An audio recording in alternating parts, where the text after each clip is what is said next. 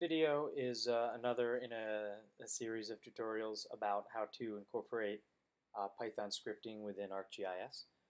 Um, we'll eventually get to some videos that actually show how you can use scripting in Arc using the ArcPy module.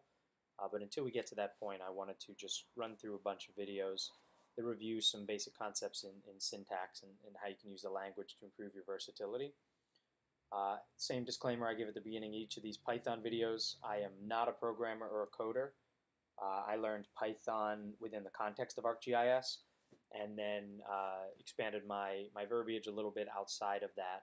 Uh, but the manner in which I'm teaching these videos is really meant for those who are beginners or just want to be conversational with Python and in particular are really trying to eventually use it within uh, ArcGIS. Um, so they will not dive into some of the you know much more nuanced uh, conceptual theoretical concepts around language structure. Um, so in the last couple videos, uh, we dove into conditional statements and uh, uh, loops, which are some really powerful elements of Python. Uh, you know, for one video, we introduced the if, the for, and the while. And then in the follow-up, we wandered or walked through some concepts around continuing, breaking, and passing within for and while loops. Um, this is kind of the third in the, the series, and really what this one is meant to do is just actually kind of demonstrate a for and an if, uh, you know, in action, so we can kind of see how they work. Uh, so there's a script here I wrote that's just called script to report the qualities of a user input word. Right, so if I open it, uh, you know, in my command line, it's going to ask me to enter a word, uh, you know, and maybe I will uh, enter the word zebra just to start. And what this word comes back, it tells me that this word is five characters long.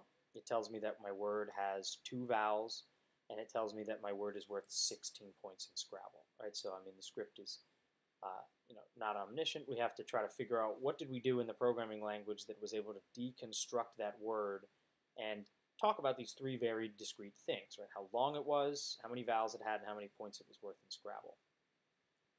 Right, so the script that I actually kind of have here you can see we uh, started by defining a word, um, or sorry, a function called word qualities.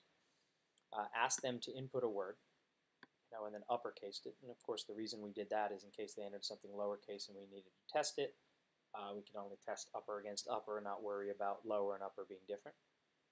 And uh, really what we have is just a series of interesting kind of little sublists, right? They didn't necessarily need to be lists. This would have succeeded just as much by making them strings, you know, but sometimes when I demonstrate videos, I want to call back to some old methods and old functions just in case.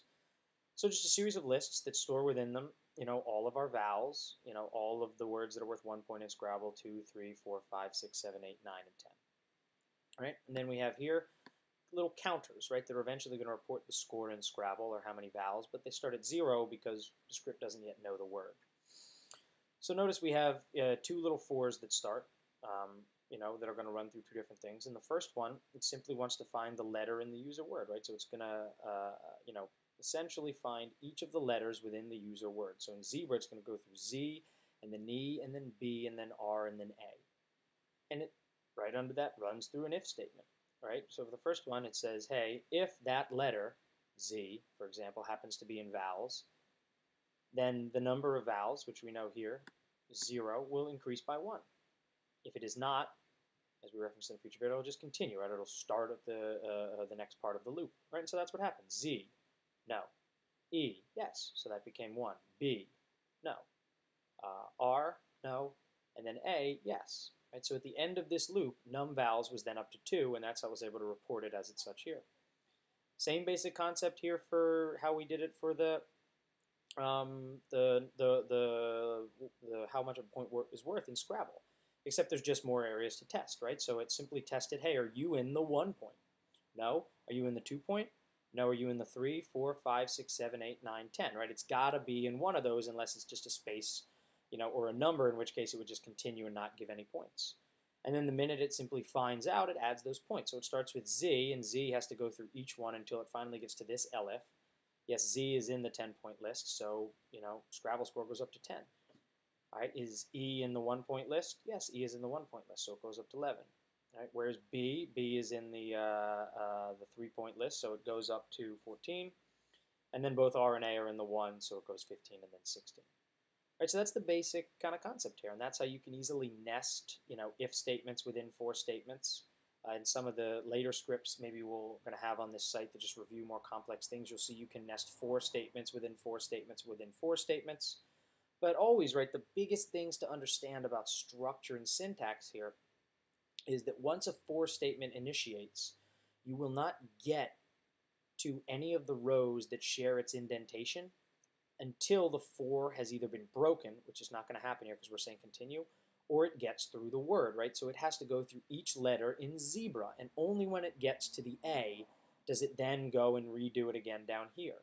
And only once it gets through all of those does it then even print anything about this word down here, right? So again, think about these as equal, but they're only equal once the for loop has finished, right? That's the whole purpose uh, uh, of the indentation structure.